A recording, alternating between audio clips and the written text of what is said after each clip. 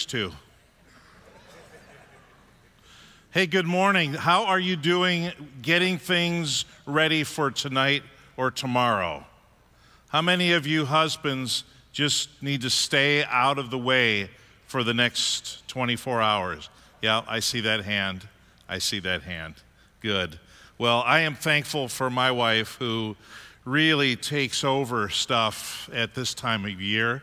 And we're excited about having uh, all of our kids and all of our grandkids tomorrow in, uh, in a fluke of the calendar, they're all able to be with us tomorrow. So we're happy about that. And when it comes to Christmas time, don't most of us try to get everything just right because we want it, after all, to feel like Christmas. Some of us are really excited that there's no snow out there, that there's moderate temperatures, and that everything is clean and neat and wonderful and it's just beautiful outside. And then there are others who feel like it is not Christmas without at least this much snow and snow falling on Christmas Eve. But we, we all try to, we, we want it to feel like Christmas. We want it to be whatever Christmas we remember from the past, whatever it was like that, that we grew up with. And uh, I'm grateful for those who've come and, and they decorate uh, the church, and it's so beautiful and it looks so good. And reminds us of Christmas. It just wouldn't be Christmas without, you know, fill in the blank, and we've all got different things that we would put in there. However, when you go to what they call the infancy narratives, the stories about Jesus when he was little in the Bible, you find a very different situation.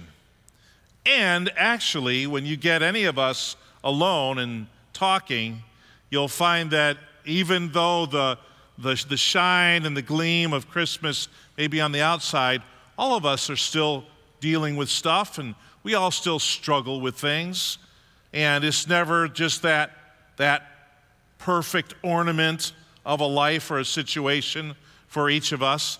Today we're going to look at a great passage, Matthew chapter 2.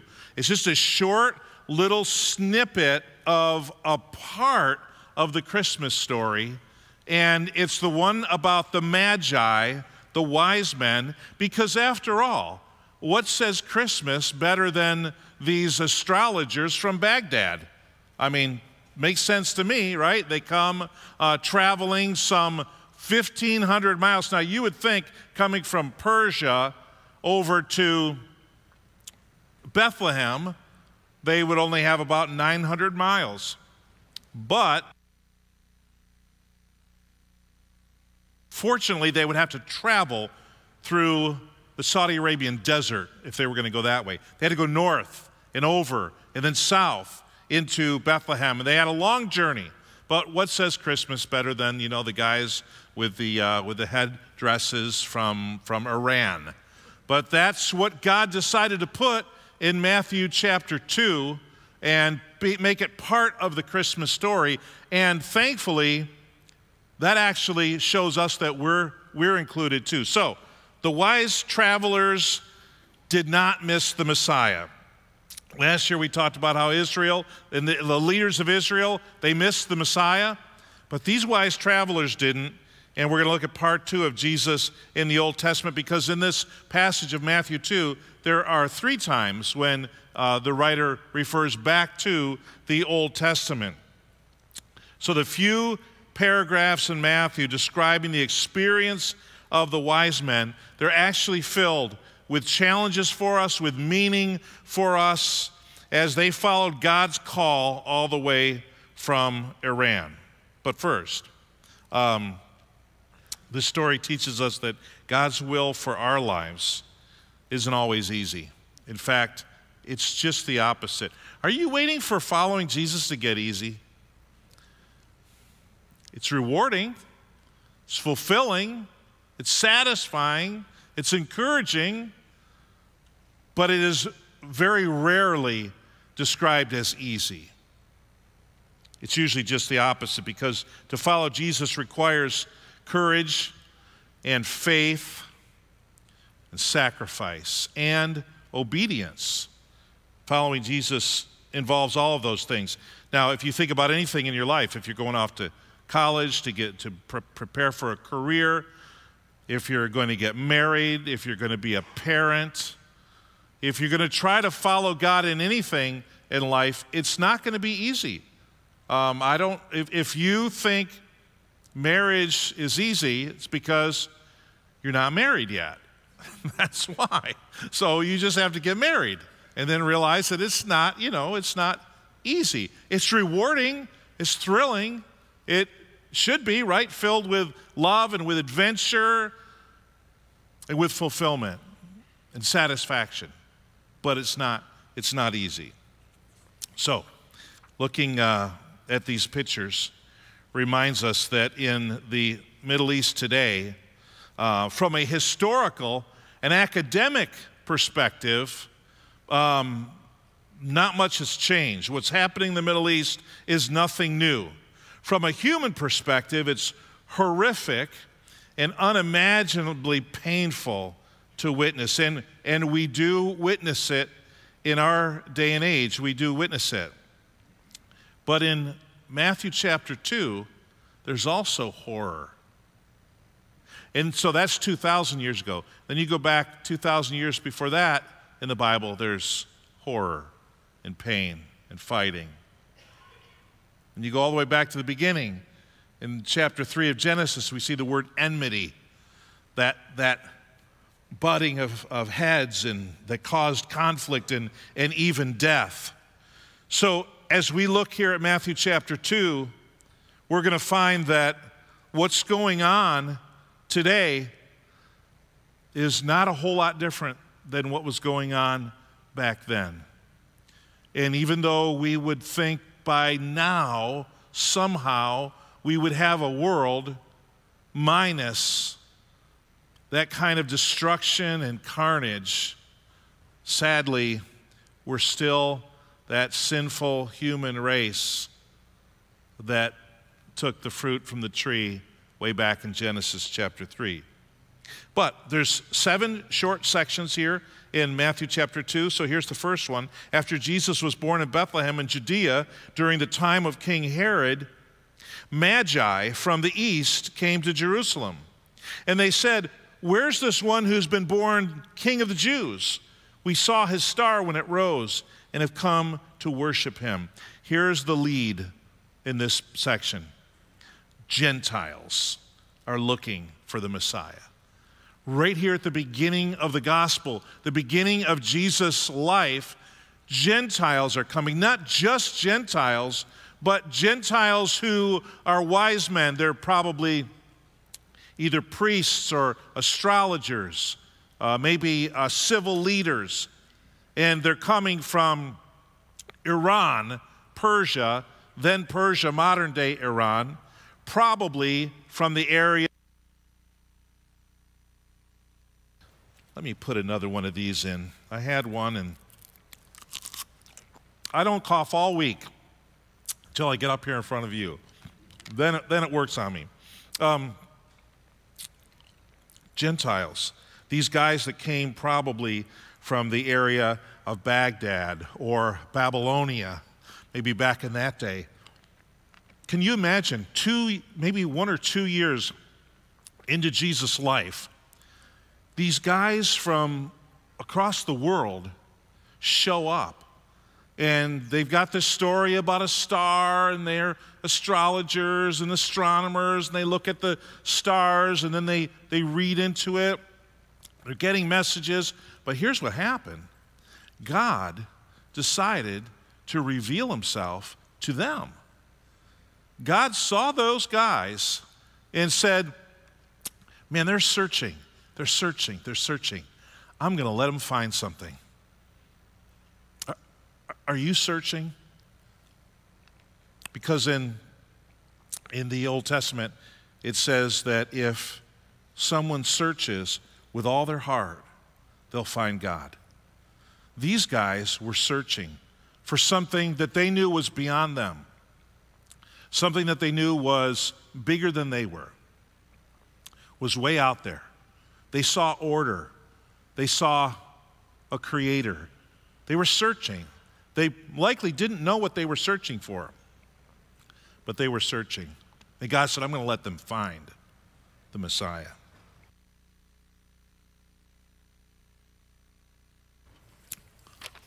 The lead is that they're not the people of God, they're Gentiles. And these Gentiles were drawn in by God. Last I checked, there's not that many Jewish people by blood in the room today. So we're all Gentiles.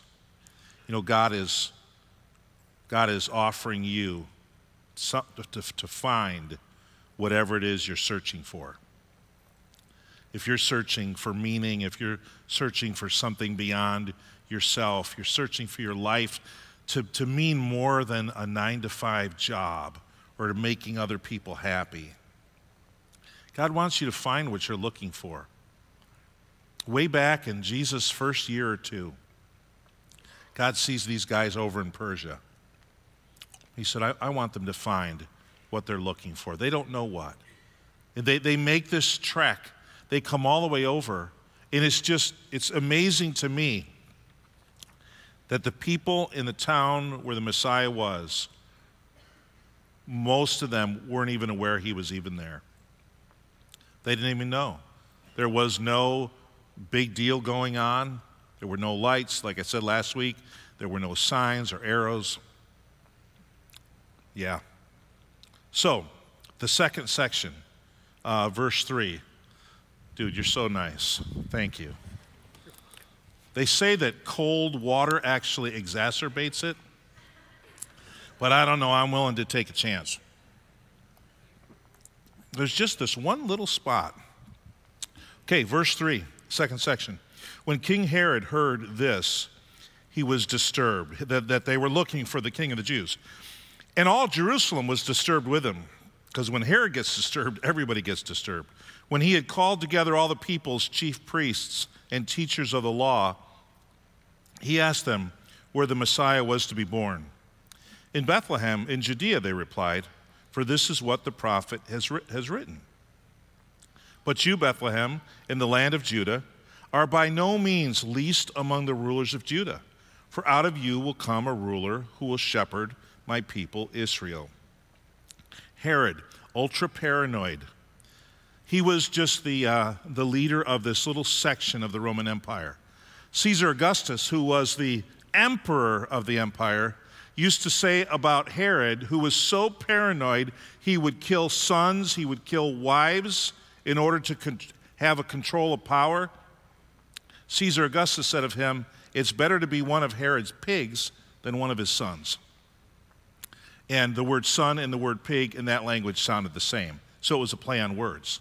But Herod, Herod was known to be so so controlling, so egomaniacal, and so paranoid that the people around him were all, all ready to get their heads lopped off at any moment. The Jewish leaders, interestingly enough, they were more concerned with their power than their people or their God. They weren't looking for Jesus. Somehow, the Messiah had come. Somehow, they knew that he would be born in Bethlehem and somehow they still missed it. There he was, over yonder, maybe five miles down the road, and uh, they didn't. Uh, they didn't see it. They didn't see it coming, and he was right there. So they quote Micah. They know it's so crazy. They know how to answer Herod. They have the answers. So they, they know the scriptures but they don't know the God of the scriptures. My biggest fear for church people, including myself, is that we know the scriptures, we know the religion, we know the traditions, we know the things to do, but we miss God. It had been 400 years since a prophet spoke, and the people were there going through the motions the religious leaders were propping up the religion, the godless religion, in name only. In name only. Jesus said to the religious leaders, Isaiah spoke well of you when he said that these people honor me with their words and with their lips, but their hearts are far from me. What an indictment. Their hearts would be far from him. Let me tell you, there have been many Sunday mornings early when I'm at home in my office and I say, Jeff, your heart is far from God today.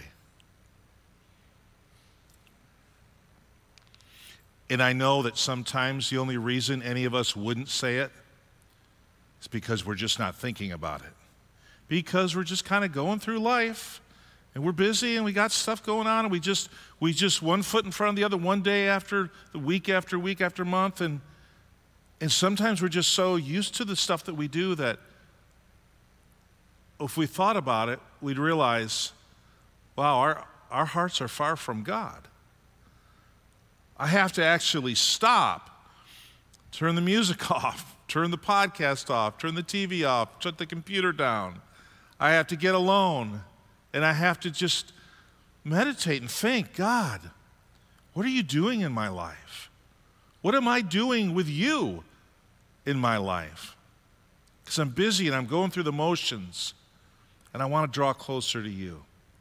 And this, this picture here of a king who asks the religious leaders in this group in his little fiefdom, hey, hey, where's the Messiah going to be born? They know, just like that, they know, but they missed him. I mean, there's not another one going to come. There's not going to be two. He's not going to come again the same way he came the first time. The first time he comes to save. The second time when he comes, he comes to judge. It's not like you get at bat a second time to maybe catch the Messiah when he comes sailing across the plate. No, it's not going to happen again. And we see that as we read this passage. And so we have to ask ourselves are we missing him? One day of our hearts being far from God is one day too many. And, and all of us have a lot of days racked up, if we were honest.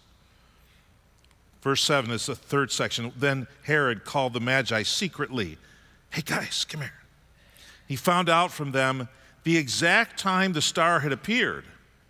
He sent them to Bethlehem and he said, Hey, go and search carefully for the child. As soon as you find him, report to me so that I may go and worship him too. He was power hungry, he was controlling, he was an egomaniac, he was paranoid, he was also lazy. Because he asked these guys to go and do what he could have gone and done. He's got, he's got authority over the whole area. He could have gone in, he could have turned the homes upside down, he could have found this child. Bethlehem wasn't more than a thousand people, probably in the few hundreds. There weren't that many people but he sends them. And God, God is going to say, No, no, I'm not going to let you do that. I'm not going to let you do that. It's, it's so interesting. You, you got this tension, and the tension's in our lives too. The tension is God's will and what God wants to do and accomplish, and then the world with all of us in it. With all of us with free will and the, the powers in this world and the things that are working against God. And so you've got these two things in tension, and you see it here in the passage, in, uh, in the fourth section, verses 9 through 12. After they had heard the king, they went on their way. And the star, the star that they had seen when it rose, went ahead of them until it stopped over the place where the child was. Lot of research on this star. Lot of stories on the star. David, you and me sat and watched this long movie about the star, the star of Bethlehem. There's all kinds of research, all kinds of uh, astronomical information. We don't know for sure.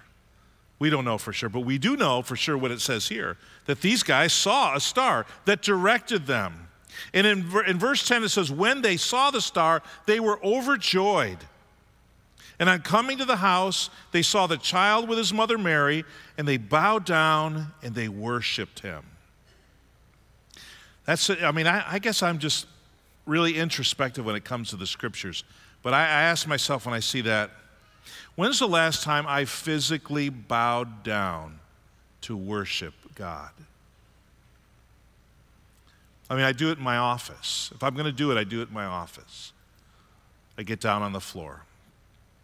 Sometimes I get on my knees, sometimes I lay on my stomach. But that's what they did. These guys were foreigners. They had great wealth. These, guys, these were important people. They came in, they recognized, wow, look who's here. This, this is the king that has been born. And as far as we know, other than in the temple when he was dedicated, we don't really know of other people coming and bowing down before this infant king. But they did it. They were Gentiles. That, that, that said that there was hope. There's hope for all people. There's hope for everyone in the world. There's hope for me. Then they opened their treasures and they presented him with gifts of gold, frankincense, and myrrh. And there's probably other reasons why we give gifts, but this would be one of them. And having been warned in a dream not to go back to Herod, they returned to their country by another, depending on where you're from, route or route. Verse 10 When was the last time you were overjoyed? when God revealed his will to you. When they saw the star, they were overjoyed. They'd, they'd invested a lot in finding God's will for them and then in getting to the will of God in their lives. And now they were there. And then they bowed down and they worshiped him. That's challenging to me. And they returned to their country. Where'd they go? They went back to Baghdad. They were the first international missionaries recorded in Scripture. When Jesus was only a year or two old, they come and they see him, they worship him. They display their faith in this little child. We don't know a lot, but we know that Gentiles would come to faith, and the Gentiles would come from other lands. And over the millennia, Gentiles will come. They haven't all come yet. Someday we'll all go. We'll, many of us will be there in that, on that part of the planet. And then they went back. And you think they talked about this king that they went to worship? Hey, where you guys been for the last two months? Oh, we got to tell you and how that maybe softened the ground for the next 30, 40, 50 years as news of this king would come. They were the first international missionaries. The, the fifth section of this it says, When they had gone, an angel of the Lord appeared to Joseph in a dream. Get up, he said, take the child and his mother and escape to Egypt. Wow. The crazy people in that land today, today, would love to escape to Egypt. Not the Jewish people, but the Palestinians. But they can't. But he was told to escape to Egypt. Stay there until I tell you, for Herod is going to search for the child to kill him. So he got up, took the child and his mother during the night, and left for Egypt, where he stayed until the death of Herod, which was only a couple years. And so was fulfilled what the Lord had said through the prophet Hosea, out of Egypt I called my son. After the high of the wise men, I mean, that had to be pretty amazing. So last week I talked about a little boy who was so well behaved, and afterwards I got to meet the parents, and I would imagine they were, they were pleased with that. But I'm no magi, right? What if you had a, a, delegation of wise men, international guys, coming and then dropping like precious uh, uh, expensive stuff in your home. That's a pretty big high.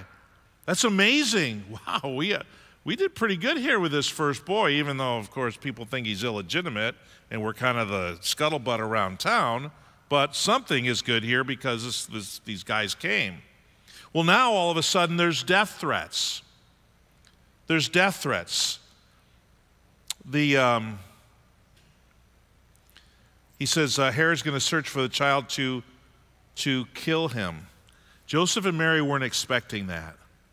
Sometimes, isn't it true? Sometimes when we follow God, we're like, okay, I'm right where I'm right where I should be. Some of you are back home from college, and so you know that maybe God has called you to a certain school, and you believe that, and you go there, and you're there for two months, and, and this just is not working out. I don't think this is. I think I missed the will of God because maybe some stuff is going on. Maybe you got some death threats. I don't know. Maybe somebody's going to punch you out if you leave the dorm.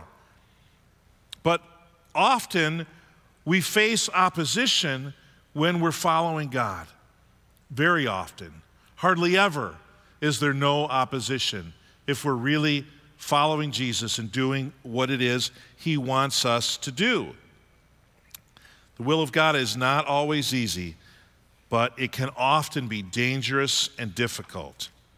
The sixth section, verse 16, when Herod realized that he had been outwitted by the Magi, he was furious and he gave orders to kill all the boys in Bethlehem and its vicinity who were two years old and under, in accordance with the time he had learned from the Magi.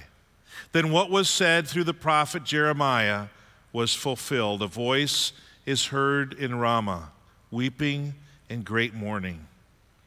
Rachel weeping for her children and refusing to be comforted because they are no more. The coming of Jesus was met with anger and fury and killing and death.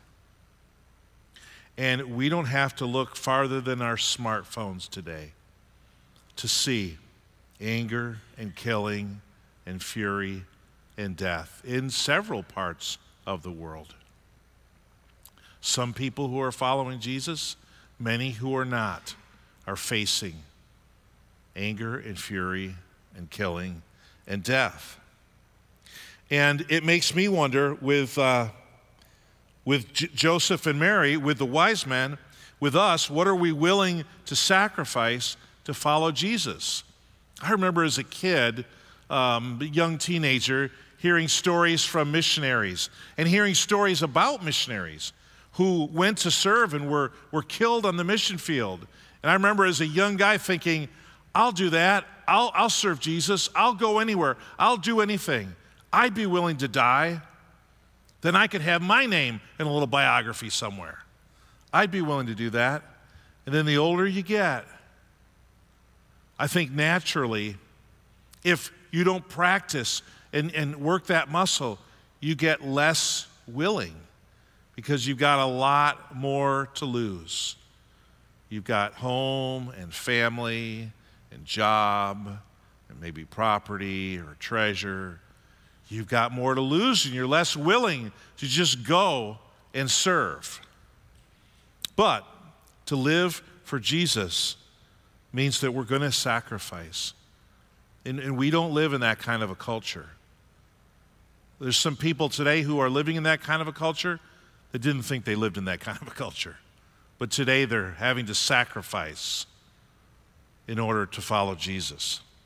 And then the last section Verse 19 After Herod died, an angel of the Lord appeared in a dream to Joseph in Egypt and said, Get up, take the child and his mother, and go to the land of Israel, for those who were trying to take the child's life are dead. So he got up, took the child and his mother, and went to the land of Israel. But when he heard that Archelaus was reigning in Judea in place of his father Herod, he was afraid to go there. And again, having been warned in a dream, he withdrew to the district of Galilee. And he went and lived in a town called Nazareth. So was fulfilled what was said through the prophets that he would be called a Nazarene. God often makes mid course corrections in our life's journey, doesn't he? We're kind of going in one way and we think we're being obedient, we think we're following God, and all of a sudden something changes and we, we have to turn and we have to go in a different direction. Are we willing to be flexible? Are we willing to be mobile? Are we willing to allow God to change our course? These guys were going back to Israel. They were probably going back to where they had come from, or at least where their family was. They end up going to Nazareth. They end up going to a, a different place. They have to find a different home. They have to meet all kinds of new people. They've got to resettle somewhere else. And that probably, there probably wasn't too many houses on Zillow in Nazareth, and they were probably all expensive and out of their price range. But that's where they went anyway. But God will often, it's never, our lives are never a straight path. We want a straight and level path. You see some of the war zones in the country, and, and I am I, I always note the ground and all the rubble. And then I also note the people's footwear. It is not usually like the kind of footwear that we wear. And I'm like, how do they walk on that with, though, with that footwear? But what they never have is they never have a straight path, they never have level ground. And our lives are often like that. Some of us have leveler ground than others. Some of our paths are straighter than others, but they're always going to involve a mid course correction. And Joseph and Mary certainly did. So I, fought, I, I, saw five things I just wanted to summarize here at the end. The story of Israel's Messiah, again, it includes us Gentiles. That's really good news. None of us like to be kept out. Talking to a family recently where um, one of the uh, siblings in the family has a spouse that the, other simpli- that the other siblings don't like. And so, what do you do at Christmas time? I could ask for a show of hands. How many of you are at what do you do at Christmas time with maybe somebody in your family or some friends? It's just awkward and you, you don't know what to do. Just talked with somebody yesterday. They're just, they just should just pull their hair out because Christmas presents problems, and they really would rather not have those problems. But ultimately, are we we gonna follow God? Are we going to follow Jesus? Are we going to treat people the way Jesus would treat them? Because then at the end of the day, we're satisfied and we can be fulfilled. That's where patience and forgiveness and forbearance and all of those words come into play. But uh, we want to belong. Everybody wants to belong. The Gentiles didn't belong in the beginning. But God, from the beginning, was always making a way for them, was always making a way to include everyone. And then, number two, let's remember that the world's values and kingdom values will always be different, as they should be. Sometimes, especially us in our communities and, and in our neighborhoods and in our counties and states, we, we think that around us, the world should be like us. But if we're really following Jesus, we're going in the opposite direction of the world. And let's just let's just recognize that. Let's not never abandon the kingdom of heaven for the kingdoms of the earth to fit in down here. Um, and then number three, not just religious. Let's not just be that, but let's also nurture our relationship with the thankfully triune God the Father, Son, and Holy Spirit, who we get to interact with in three different ways that really en- uh, envelop us in a relationship with God. So it's good to be religious, it's good to have tradition and ritual and spiritual practices that draw us closer to God, but then we got to draw closer to God. We got to remember that He's the point of all of it. And then, number four, are you and am I like these magi? Are, are we seeking Jesus? Or did we arrive a long time ago and we're good? We're good. Or, or can you always get closer? Can you always increase the intimacy? Are you still seeking Jesus? Number five, and lastly, don't be surprised when you encounter opposition. It's a normal, natural part of life's journey with Jesus is opposition. He found it. He had opposition. And he said, if they didn't like me and you follow me, they're probably not going to like you. But that's okay. That's okay, because if God likes us and we like God, that's where we want it to be. So, again, God's will for our lives, it isn't always easy. In fact, it's just the opposite, but it is always rewarding and fulfilling. And remember, to follow Jesus requires courage and faith and sacrifice. All of those things. All of those things. We just looked at 23 verses of the Christmas story. All the rest of the verses are just more of the same. More of the same. Struggle, reward, call, pain, relationships, hardship, blessing. It's all the grist of life. But again, at the end of the day, when we lay our heads down, have we walked with Jesus that day? Are we, are we seeking Jesus? Because if we seek him, we will find him. If you're seeking Jesus this morning, his arms are wide open. They were outstretched on the cross, and they're outstretched to each of us today, saying, Believe in me. I died for your sins, I paid for your sins.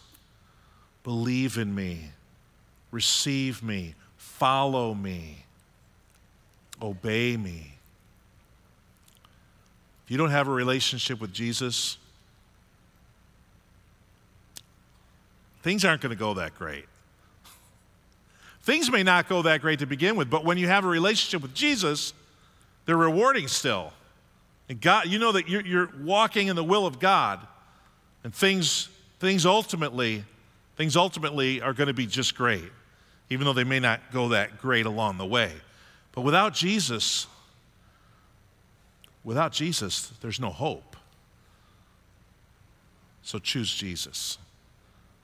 Believe in him. Follow him. Let's pray. God, thank you. Thank you for this, this short passage with the Magi. I thank you for these guys who were willing to step out and go. We, we have no idea the drama and the, the adventure that was their trip. Um, but it was important enough to be written about in Scripture for all eternity. Their story is told. And their story speaks to us and says, You're wanted, you're invited, you're included all the Gentiles can come to the Savior of the world. So, Lord, I pray if there's someone here this morning who's never come, that they would come. They would come to you with their guilt, with their shame, with their sin, with their mistakes and their faults and their failures. They would find forgiveness through faith in Jesus. God, I pray you would work in all of our hearts. I pray that you would help us this week as we're with family and friends, as we're doing different things. Help us to love and serve well. In Jesus' name, amen.